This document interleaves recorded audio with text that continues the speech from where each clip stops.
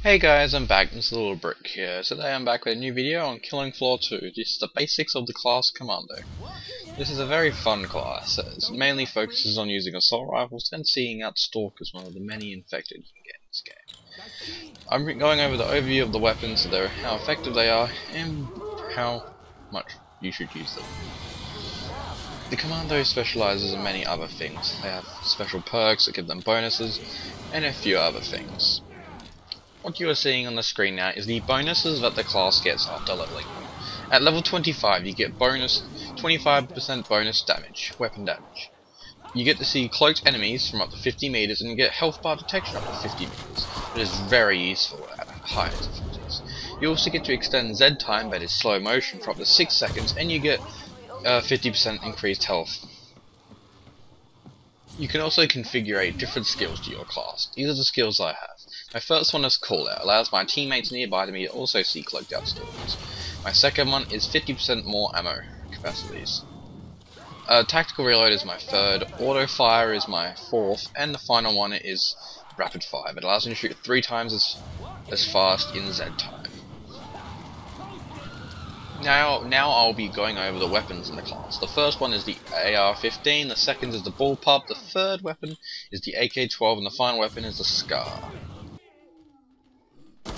The first weapon is the AR-15. This weapon's okay, not very great. It's stuck in burst fire, and you start off with this weapon. It's an okay weapon if you want it good for long ranges, but personally, after the first or second wave, I would probably buy the ball bullpup. It's much more effective, and this, this weapon's okay. On higher difficulties such as Hell on Earth, this thing is an absolute bitch to use. I'd recommend you start to use other weapons, and try to avoid this. Obviously you have to use it in the first wave, because it's much easier to use. The second weapon for the uh, Commando is the bullpup. This is a very great assault rifle. It only costs 650 from the trader. It's really good fire rate, really nice magazine size. It's a 30 bullet magazine, but obviously I got the 50% clip increase. I really, really love this weapon. I, I, remember the first game I was in love with it, this game I'm in love with it. Tripwire's done a good job of balancing weapons, and it's a really nice weapon to use. There's not really much disadvantages from it, except for the low damage. Obviously, when you're on the higher waves, such as 5, 6, and 7 plus, it's going to be very ineffective against like Scrakes and Fleshpounds.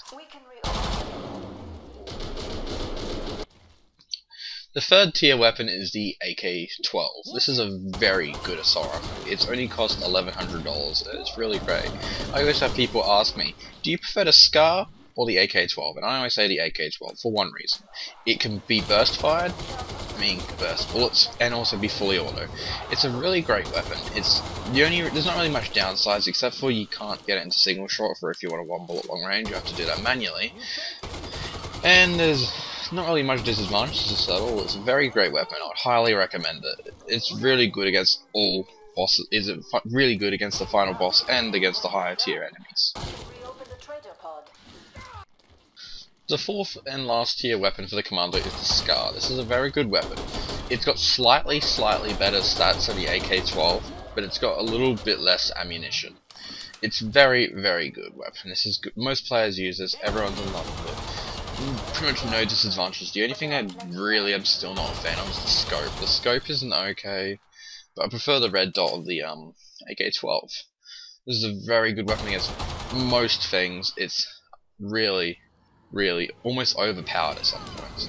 Obviously on higher difficulties it's going to be a lot harder to through people, destroy them, but still a very effective weapon. I would highly recommend it.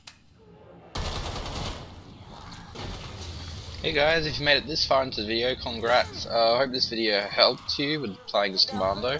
My next video will be in the next few days of the Support Specialist. If you enjoyed this video and found it helpful, please leave it a like. Also, comment on what you or your opinions on the game are and other things.